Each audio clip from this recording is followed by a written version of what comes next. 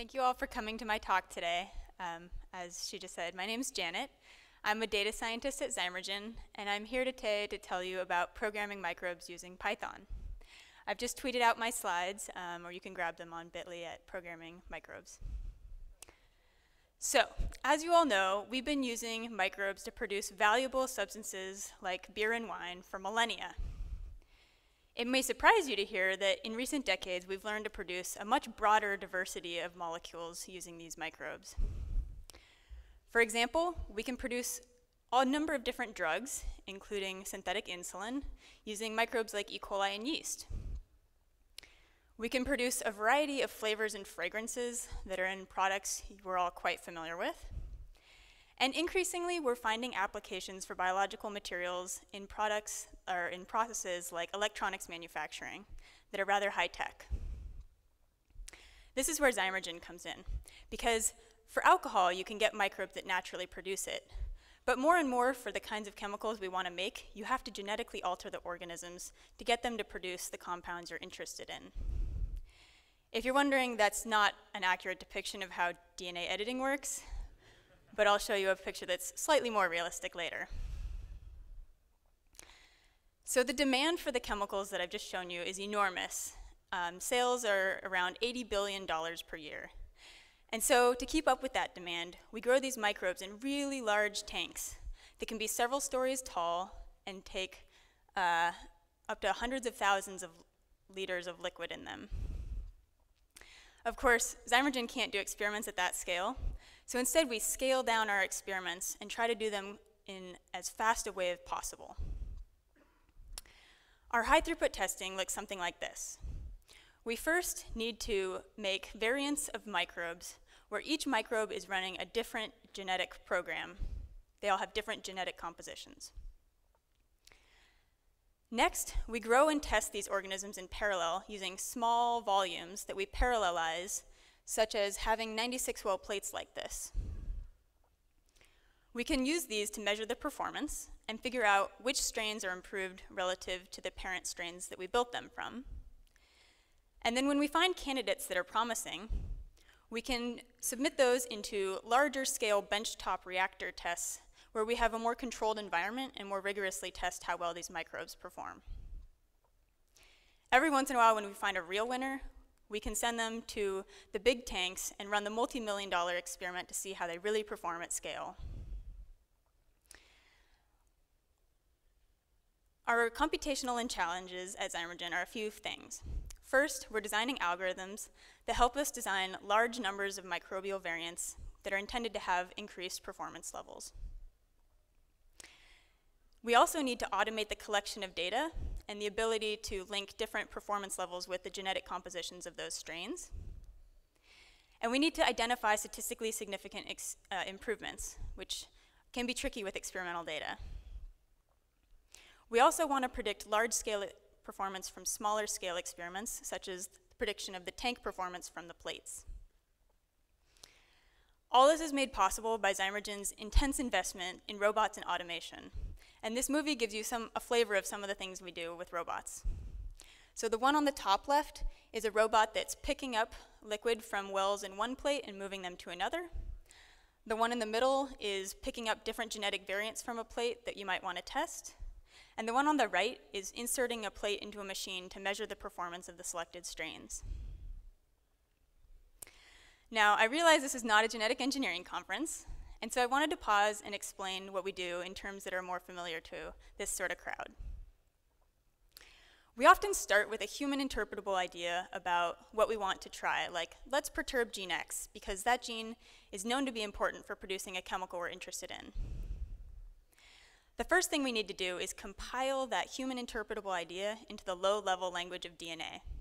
And we do this using a program that we built in-house in Python that's called Helix.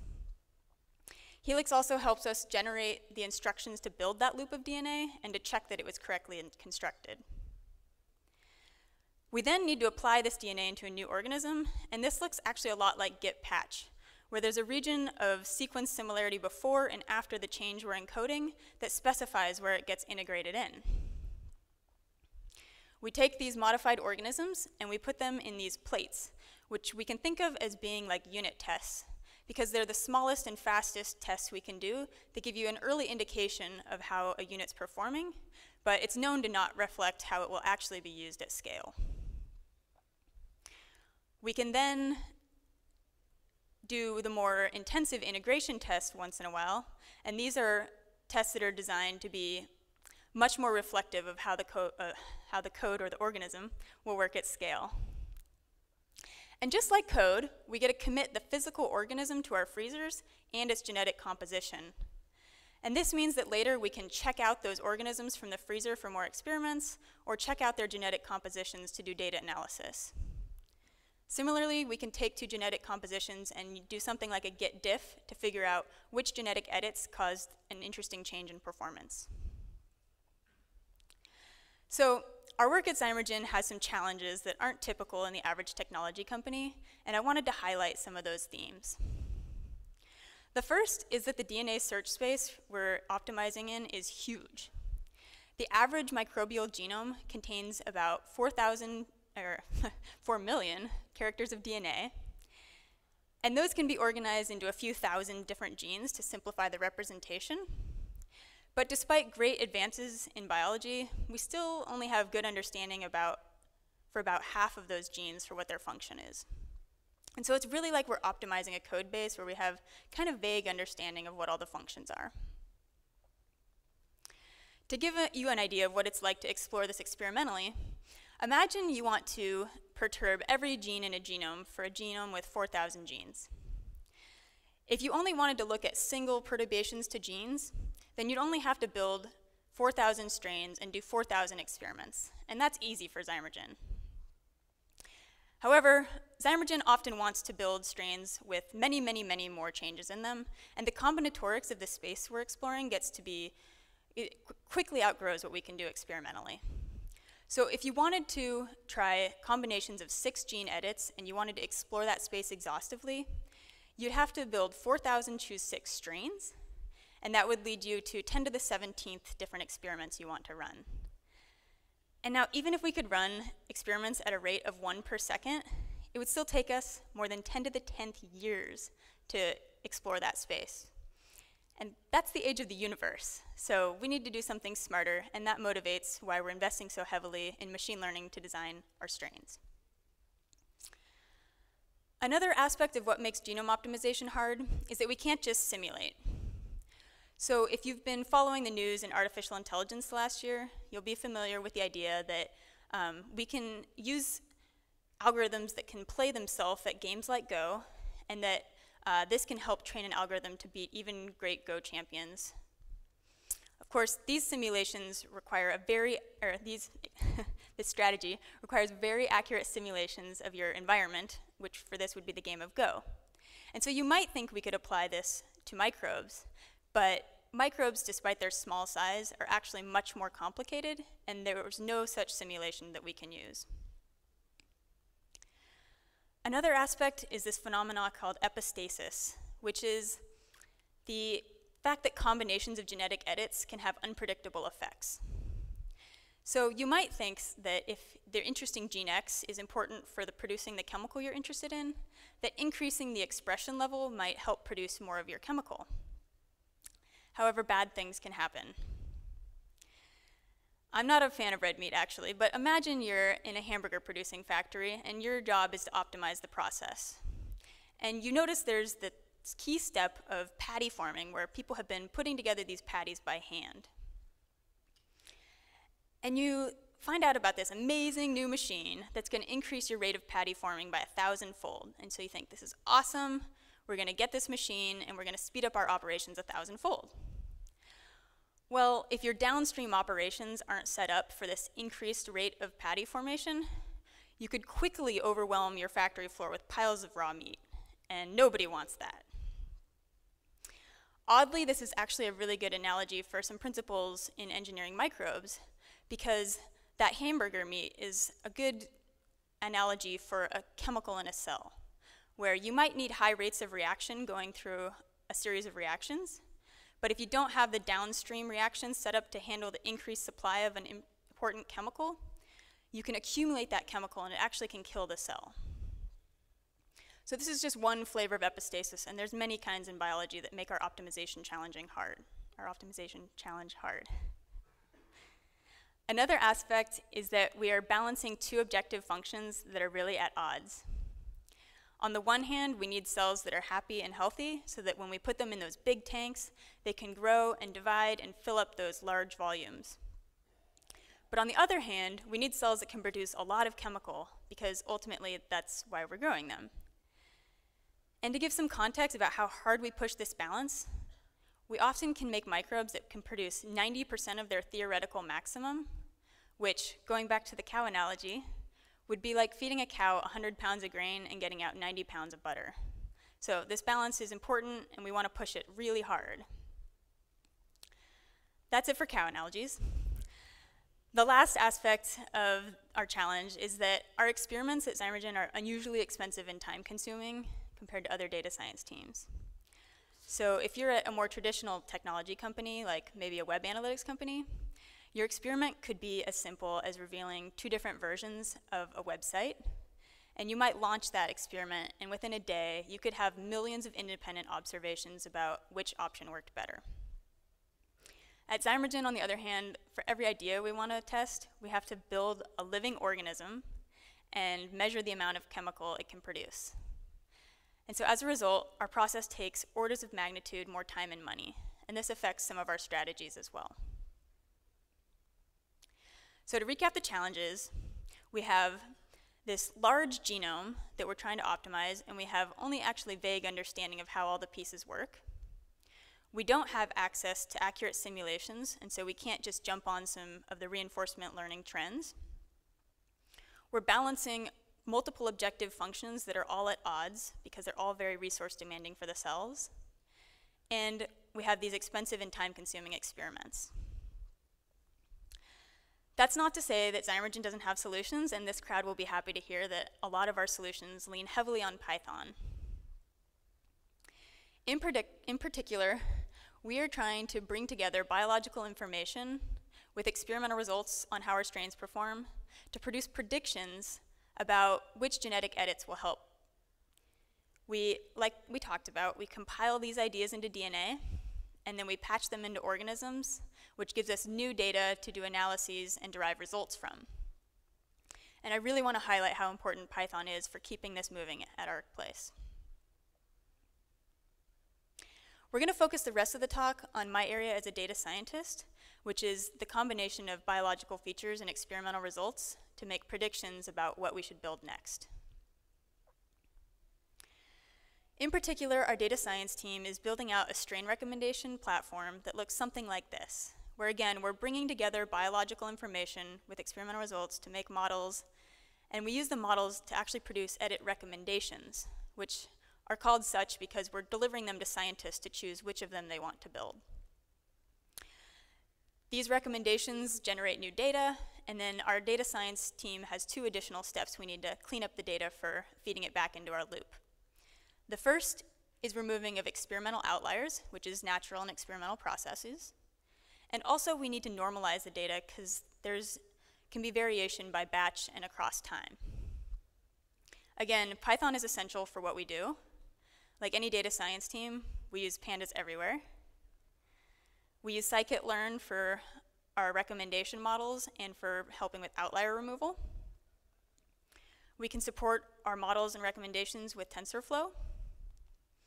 And we use PyStan to normalize our data.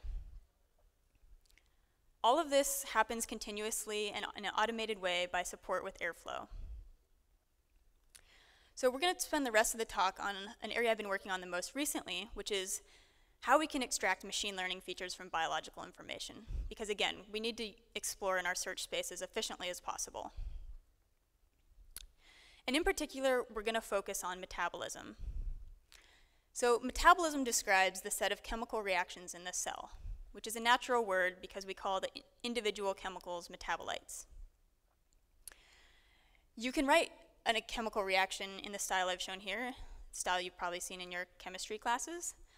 Or you can write it in a graphical notation. And when you write it in this graphical notation, it becomes easy to assemble these metabolic maps, which you can think of as being a lot like a Google Street Map. in that the lines connect interesting places you might want to go, and the dots are places of interest, where for a cell, the place of interest is actually a chemical. So this is a cartoon of metabolism, but actually metabolism is quite complex. And this is just a screenshot of the upper corner of a poster you can order that shows the topology of metabolism. As you can see, there's a lot of reactions, and the topology is actually quite complicated. And so, as important as this information is for our data science needs, we clearly need a way to extract some information from it that's more amenable to traditional machine learning techniques. Fortunately for us, there's this package called CobraPy that we can use. And so I'm going to walk through an example of extracting features using CobraPy. In particular, let's pretend we wanted to make MSG, which is the sodium form of glutamate, monosodium glutamate. Glutamate is actually one of the 20 natural amino acids and is essential for our health and vitality. Um, it was originally isolated by extraction from, MS, from seaweed, and then later they figured out how to hydrolyze it from wheat. But in the 1950s, some clever Japanese researchers figured out that if you grew the right microbe in the right conditions, it would actually produce glutamate really efficiently. And so this process actually took over the world production for MSG. Now, MSG uh, has some mixed perceptions from the public, and because of this, the marketing team has asked me to clarify that Zymergen does not currently work on MSG, but nonetheless, we're using it as our example. So going back to metabolism, this is a cartoon that shows a subset of the reactions like in the previous metabolic map we showed. And here I've highlighted in green the route that you might take to convert a food like glucose or sugar into the chemical of interest, glutamate. I've colored the set of reactions that you could consider the most efficient, green, and these are called on pathway. And the remaining reactions that are left gray, you can call off pathway, because they're not on that most important route to the chemical of interest. Extracting these features is pretty easy in CobraPy. First, you specify what the metabolic map structure looks like, and then you specify an objective function that you want to solve for. This gives you access to the data about what the most efficient route is. In more detail, it looks something like this. The metabolic map you're specifying is actually, it's represented nicely as a map in the previous slide, but mathematically it's represented as this matrix, where for every reaction, you're specifying which different metabolites are produced and consumed. You specify an objective function, for us it's glutamate production, and then you get out this reaction set of vector, or this reaction vector that describes those reaction rates. And in biology, we call these rates fluxes, and this method is generally called flux balance analysis. Now, getting these flux features is pretty easy, and in code, it's just these few steps. You first load your metabolic model, which are specified in systems biology markup language notation, but ultimately are specifying the details of this matrix. You then find the reaction you're interested in optimizing for. You set the objective of that model to be that chemical of interest, or that reaction of interest. And then you use the built-in optimizer to find the most efficient route. This gives you an object where you can loop over the different reactions in the object and you can write those results out to a summary. Now we talked about one objective so far, which is optimizing for glutamate production, but we can actually loop over multiple objectives, and then that allows us to get a broader set of features. So if you just run the last few lines of code using different objectives, you can produce this matrix of flux features. These are directly useful for machine learning. They're in a friendly matrix format. Or you can refine these down into the kinds of labels we talked about earlier, like on pathway and off pathway. Or potentially other labels, like whether a gene is essential for the cell's survival. Now, some of you might be thinking, wait a second, I thought you told me we can't use simulations for self-play and jump on the reinforcement learning bandwagon. Well, there's really two reasons that's true. The first is that we're really only modeling a subset of the reactions and the chemistry that happens in a cell. there's a lot of things that happen in a cell that aren't really reactions, like something could bind to DNA and affect the way genes are expressed. And in addition, there's also a lot of reactions that we don't understand well in the cell. And so these models necessarily only include a fraction of the reactions in genes. And so it's kind of like we're looking at just the corner of the game of the Go board, and that's not enough to do the reinforcement learning techniques. Additionally, these models are steady state and linear. The matrix I'm showing is specifying that system of linear equations, and there's no time component, so we're really just looking at a snapshot in time. As a consequence, we can't simulate the way a cell grows and divides, or the way a culture expands in a volume of liquid. And that means we can't simulate what's happening at scale, the most important condition for us. Nonetheless, these features are still very helpful and they're working. So we're able to actively combine these flux type features with the experimental results on strain performance, and we're generating models that are yielding useful recommendations which for context could be something like removing a gene that's harmful for the production of your chemical. I wanted to highlight that all these maps that I've been showing are built using another Python package that's been great. It's called Escher. Escher is built in Python, and it really does a lot of the D3 work for us. And uh, it, Escher has really good understanding of what these metabolic models are, and so there's an editor where you can construct these maps for different chemicals you're interested in, and it has lots of tooling built in to help you contextualize features you would extract from these types of networks. You can give it a try on GitHub. Um, without installing anything, you can play with their interface and pretend you're a metabolic engineer. So we only had time today to talk about features derived from metabolism, but there are many other types we can draw from for biology, and they're all important for achieving our machine learning goals. There's gene ontologies, which are human interpretable categories of gene function that are organized into directed acyclic graphs. There's regulatory networks that describe how cells change their gene expression patterns in response as they grow or as they're experiencing changes in their environmental conditions. There's the raw genome itself, which is rich with sequence features and also contains information about how the genes are arranged. There's also phylogenetic relationships, which describe um, relationships between organisms in evolutionary time, and also how different proteins, or how the same protein in different organisms are related. We also can use gene expression data. And I highlighted how Python has this package CobraPy for that one case of features, but there are excellent open source Python packages that we can use to extract features from all of these. Um, some of them are named here. So, that's all I have today, and I really wanted to thank you all for two things. First, can anyone raise their hand if they've contributed to materials that help teach new programmers? Awesome, thank you. So this picture is me a few years ago in the middle of my PhD, and I was doing this kind of genetic engineering for renewable chemicals entirely by hand.